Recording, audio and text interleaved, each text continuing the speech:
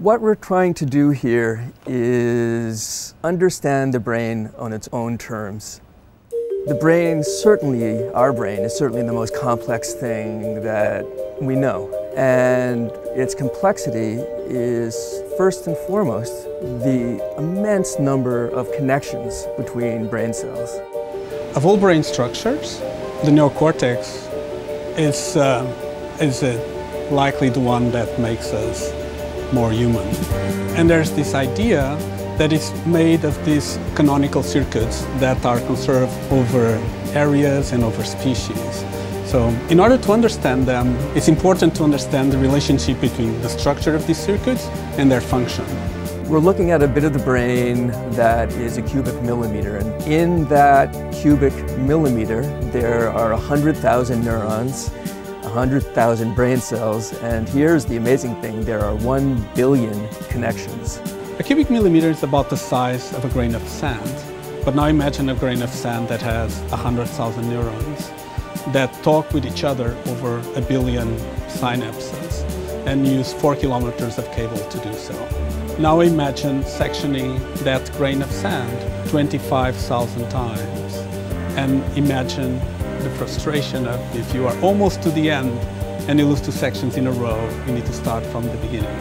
This is the challenge that we face when we prepare our samples, when we section them, and when we image them. That's the sword that hangs over our neck at every step of the way.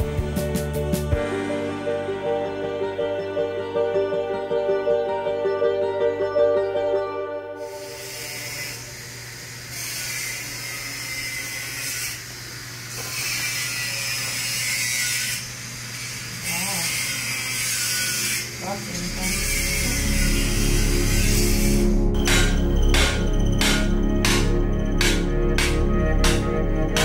feels like doing the impossible because no one's done it yet. It's this great problem that people have been trying to answer for a very long time. And now the technology has caught up to where we can actually do it. It seems feasible. And I think that was the theme of phase one of this project was, can it be done?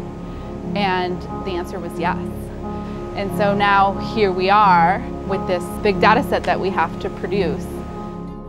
In order to see those one billion synapses, we have to take about a quarter billion pictures. So we are taking just an astonishing number of pixels of pictures of the brain because we need to see these super tiny things that are on the scale of tens of molecules across. They're really, really tiny.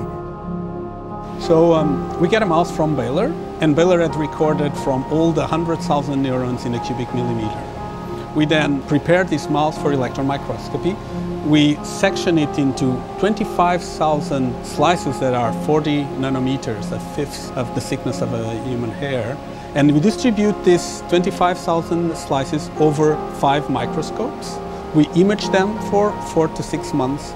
We then reassemble all this volume, which now is 250 million images or so, uh, and we deliver this to Princeton.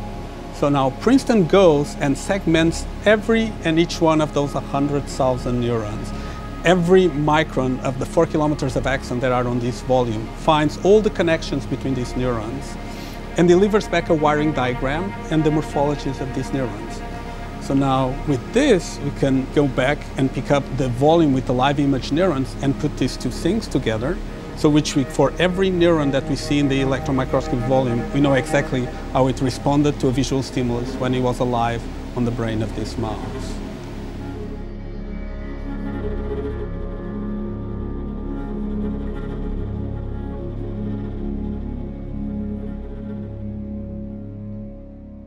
Some of the challenges I feel that, that this team has are every step of the way um, can't fail. And so it starts with getting the mouse from, from Baylor. Their imaging and their surgery has to be on point. And when that mouse gets handed to us, the histology team has to make sure you know, the tissue is processed perfectly.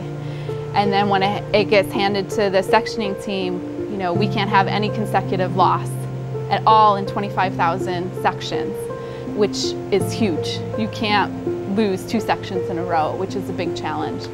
And then when you get to the imaging side, you have to be able to image consecutively. And again, you can't miss anything. And then when it gets handed off to the image processing team, you know, every section has to be stitched and aligned and put together. So when we hand it off to Princeton, they have the best images they could possibly have for them to be able to do segmentation. Getting everything to work together to do something this big, it's not just doing the same thing a hundred times. It's making sure when you do the same amount of work a hundred times that you make no mistakes, that nothing's left lying on the floor.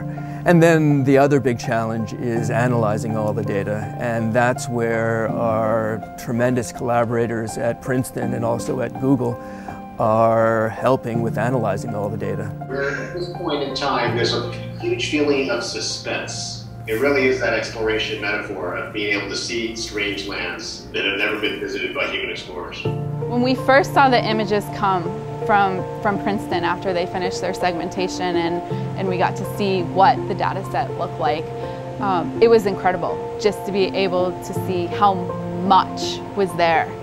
So we, see, so see? We, and now we have this one is this another is insane. one. Yeah, yeah, of course. So we have a network of three pyramidal cells and about five chandelier That's cells in. See, this this is the beauty of it. That this is six months of someone's life, at least, uh, a couple years ago. In a year from now, we expect to have for the first time a volume that allows us to look at this circuit in the mouse.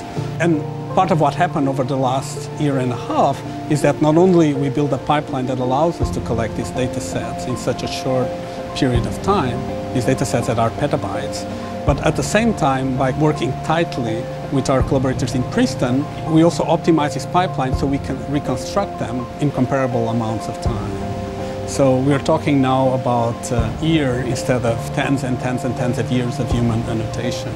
At the end of this huge process, we have these wonderful three-dimensional images of neurons, the completeness and complexity of which no one has ever seen.